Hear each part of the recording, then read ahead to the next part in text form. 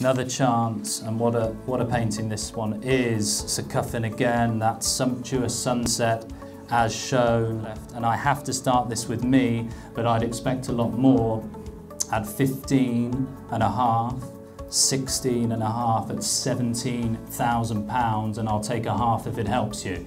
At 17,000 pounds, 17 and a half with David Rogers Jones, 18,000 pounds here.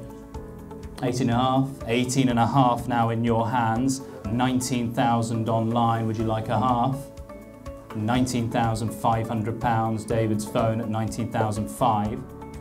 The sunset scene, 21, thank you. Stuart, 22 if you'd like, at 21,000 pounds to the left. 22 back in.